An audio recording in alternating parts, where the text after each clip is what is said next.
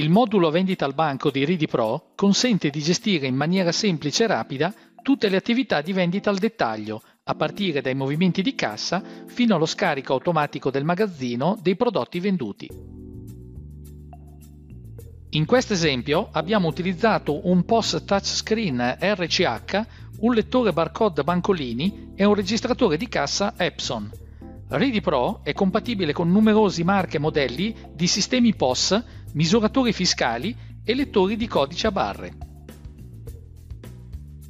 Tramite la gestione pannello rapido si possono sfruttare tutte le potenzialità di un monitor touchscreen, effettuando comodamente l'inserimento articoli senza usare mouse e tastiera e ancora più velocemente usando un lettore di codice a barre.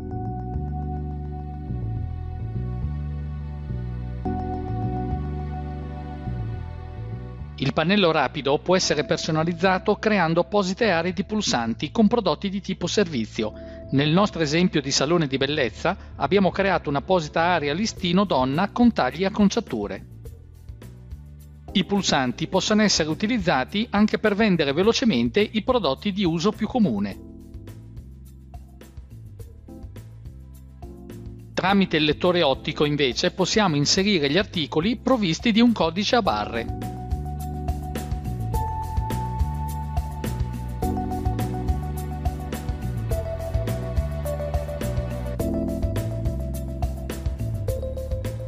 Al termine dell'inserimento articoli, tramite il pulsante scontrino, viene chiuso il movimento ricevuta e stampato lo scontrino fiscale.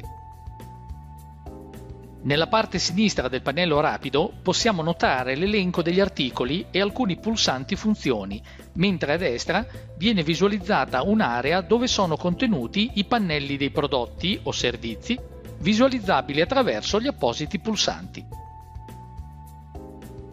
All'interno del pannello rapido è possibile anche intestare la ricevuta ad uno specifico cliente per creare una memoria storica dell'acquisto da ricercare in futuro, oppure attraverso il pulsante tipo di incasso suddividere l'ingresso della valuta in alcune tipologie come contante, carte di credito, assegni, eccetera. All'esterno del pannello rapido si trova l'elenco movimenti del giorno, che contiene ogni singola riga delle vendite effettuate. L'elenco può essere personalizzato aggiungendo colonne per visualizzare ogni tipo di pagamento.